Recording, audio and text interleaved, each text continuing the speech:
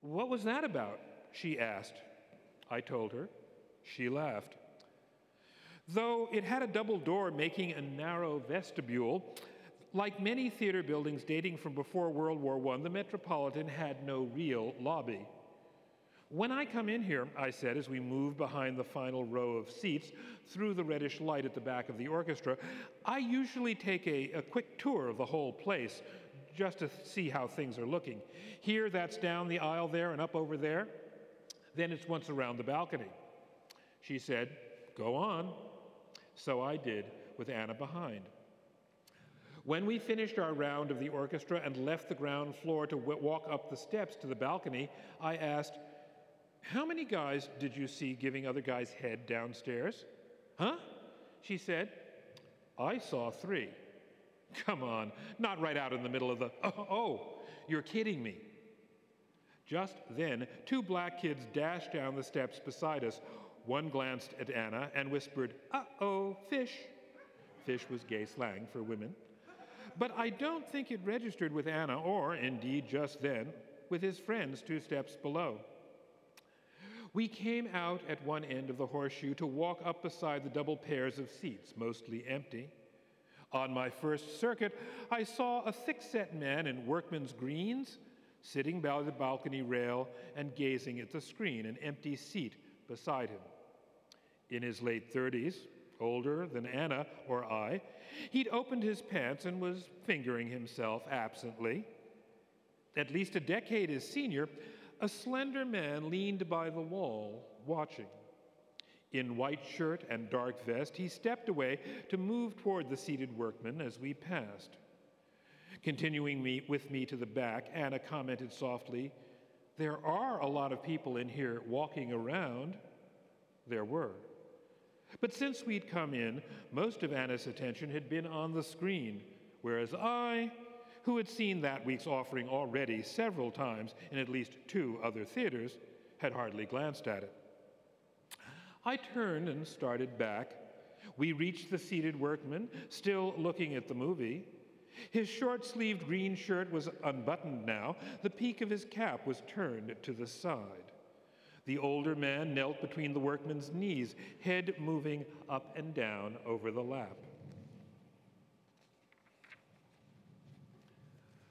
I sat in the empty seat beside him, and with one hand on her hip, one hand holding her wrist, I guided Anna bodily into the chair ahead of me. She sat, still looking at the screen. I said softly, Back here. Twisting to look at me, she said, Where? What? Just then, the workman, who, when I'd sat next to him, had made no response at all at my arm as my arm had slid down by his, suddenly blinked, pulled his hands back on the chair arms, and moved his whole body two inches forward. That's a girl? The guy sucking raised his head and craned around below the seat back. It's okay, I said. Go on. The workman looked at me. She want to do something? He turned to Anna. You want to do something? If you do, that's okay. The man between his legs still looked back. He held the workman's dark penis in his pale fist. Is this all right with you? He asked Anna. Looking down, Anna said, Huh? Oh, sure, uh, go on. With, I think she found it surprising, a wink at Anna, the man on his knees went back to sucking. The workman's hand slipped forward again on the chair arms. Fifteen seconds later, the man sucking raised his head again. Again, he held the workman. Softly, he said, looking back and up at Anna, Do you um, want some of this? His other hand moved to my lap as he spoke. I'll do your friend if you want, and you can have this one. Anna said, That's all right. I- am just watching. Oh, all right, he whispered, as if reassuring her he'd keep a mutual secret. His hand slipped from my pants, and he went back to sucking. When the workmen came, Hey, thanks, thanks, thank you, one had gone to the man sucking, the other had gone to me, and the third to Anna. He buttoned his shirt, stepped over me, patted Anna's shoulder, and was gone. Getting up from the floor, I helped him, and Anna offered a steadying hand. The older man stopped to lay a finger on Anna's forearm. Did that look good to you, sweetheart? Uh, yes, she said, a little uncertain. The man turned to give my arm a squeeze, then winked at me. Stepping among the other men who'd stopped to watch, he whispered, Good, and was gone in the other direction. Anna and I spent another hour in the theater. Once she sat on the balcony rail and watched two more guys work out in the seats beside her. For a while, on the same side of the balcony at the end, she stood near a group of men, including one of the kids we'd passed on the stairs, and watched me trade off doing and getting done with a guy in squeaking leather pants and jacket. Once, during a lull, as several other of the observers had been doing from time to time, she, watched, she reached in to feel his erect cock, and with his sudden frown, though he did not pull back, I and Anna both realized that only then had he seen she was a woman. Anna let go and stepped quickly back, though. Before we left, she told me, I'm going to walk around by myself for five minutes. When, three minutes and 38 seconds later, by my watch, she rejoined me at the back of the orchestra, I asked, Everything okay? Yes, she nodded. Did anything happen? I was quite as curious as to what she had seen as she had been to see it.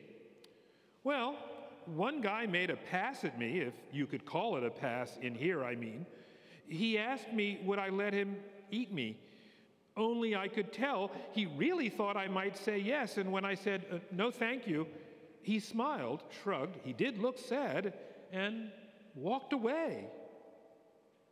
I laughed at her surprise, and we pushed through the dull gold drapes hanging across the inner door.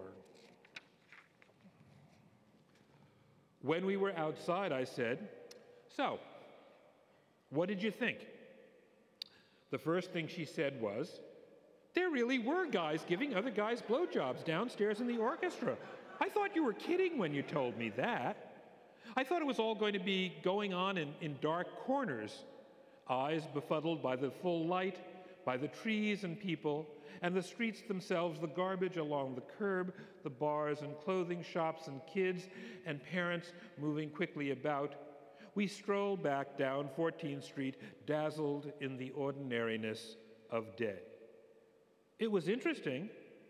Then she added, it was more relaxed than I thought it was going to be. I thought it would be more frenetic, uh, people just grabbing each other and throwing them down in the shadows and, and having their way.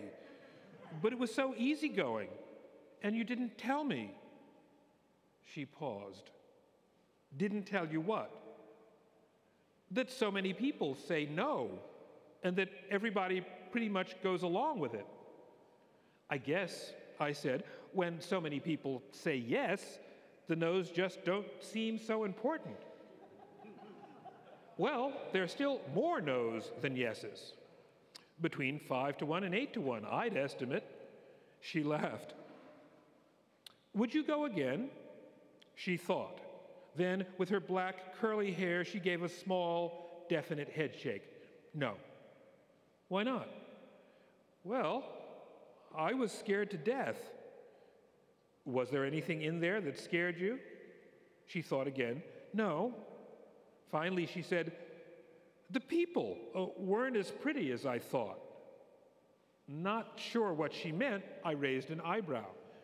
The people in the movies, she explained, the actors on the screen, they weren't even as good looking as the people walking around the theater. Oh, I said.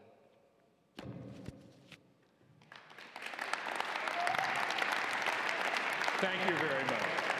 Thank you very much. Good evening.